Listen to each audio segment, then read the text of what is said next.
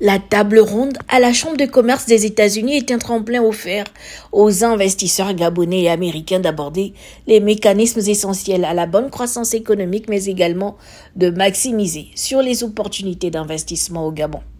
avec pour thème renforcer les relations commerciales et d'investissement entre les États-Unis et le Gabon. Cette rencontre a permis au président de la transition, le général Brice Clotaire Oligingema, de présenter devant la présidente du Centre pour les affaires États-Unis-Afrique le climat des affaires dans notre pays.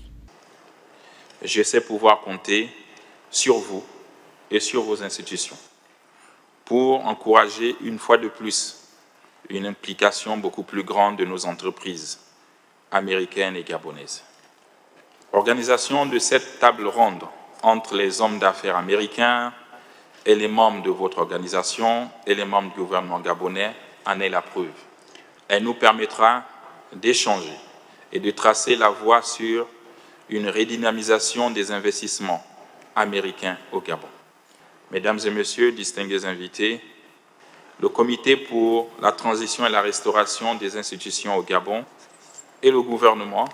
ont entrepris des réformes importantes qui visent à assainir le climat des affaires. Nous avons pu rétablir des relations de confiance avec nos différents partenaires au développement. Ce face-à-face avec les partenaires américains est une mission qui vise la promotion de la destination Gabon. Il y a plusieurs opportunités d'investissement dans les secteurs des mines, du pétrole, de l'agro-industrie, du tourisme ou de la digitalisation. Secteurs qui ont été euh, beaucoup a insisté, bien sûr c'est le secteur du pétrole, le secteur des mines, mais également il y a tout le secteur également de la digitalisation parce qu'effectivement vous doutez bien que dans un monde qui va de plus en plus vite, il faut pouvoir améliorer les process, il faut pouvoir digitaliser, il faut pouvoir dématérialiser. Et que là aussi les États-Unis ont une grande avance en matière de digitalisation. Et que c'est bien que le chef d'État également ait attiré ces investisseurs-là. Mais ce qui est important de retenir également, c'est le discours principal de dire oui, nous produisons des matières premières, du bois, du manganèse, du pétrole, mais il est important que ceux qui viennent investir au Gabon fassent une première transformation sur le plan local pour, ajouter la valeur ajoutée, créer l'emploi pour, les nationaux et également créer la richesse pour le, territoire pour qu'on ait des experts gabonais qui soient formés dans ces différents secteurs. Et sans cela que le secteur privé gabonais également y être présent est important pour nous parce que derrière, c'est comment avec nos partenaires américains qui arriveront, on peut monter ensemble donc les joint ventures effectivement, parce que nous, on a une bonne connaissance de notre environnement,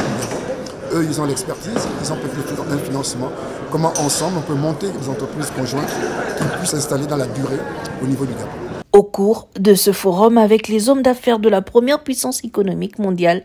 le président de la transition a insisté sur le transfert des technologies qui ouvrent un champ vers des nouveaux marchés,